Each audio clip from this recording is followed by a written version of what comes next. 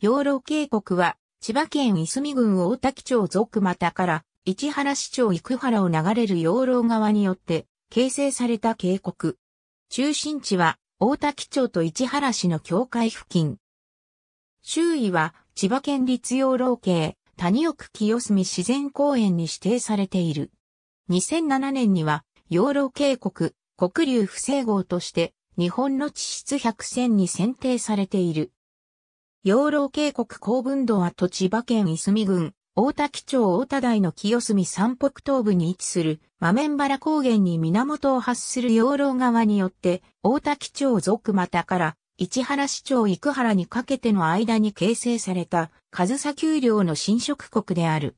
養老川支流の結城川と養老川本流の合流地点には、公文道跡という川回しの水道跡がある。養老川を北上すると、千葉セクションが見られるほか、様々な地層が見られる。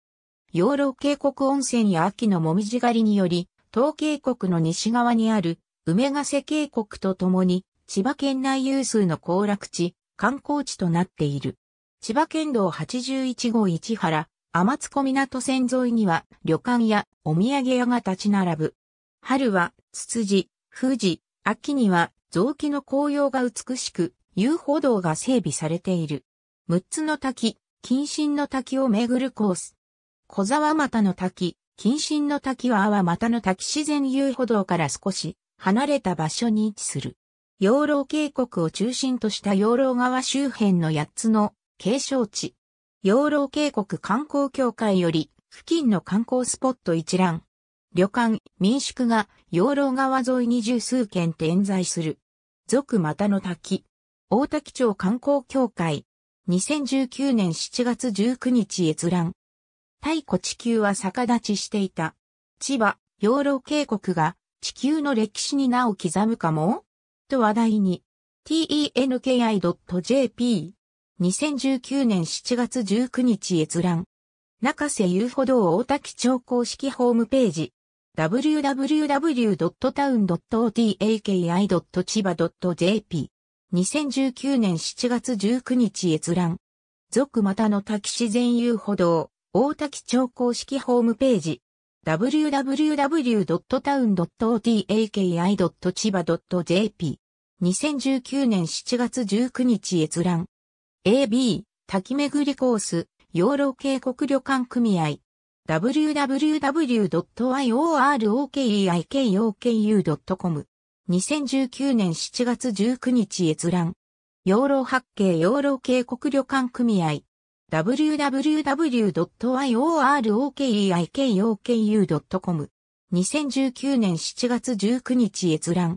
千葉県観光物産協会。水月寺。丸ごと、E、千葉千葉県公式観光物産サイト。2019年7月19日閲覧。由来。養老山立国寺出世、観音。2020年4月27日閲覧。出世観音立国寺。和空主要都市区房のポータルサイト。2020年4月27日閲覧。養老渓谷観光協会。www.iouroukeiku.com 2019年7月19日閲覧。マメンバラ高原。大滝観光協会。2020年4月27日閲覧。関東随一。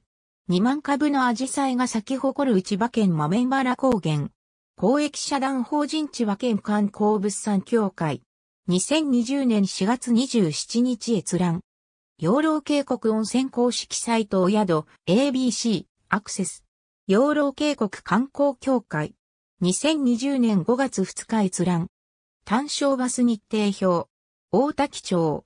2020年5月2日閲覧。ありがとうございます。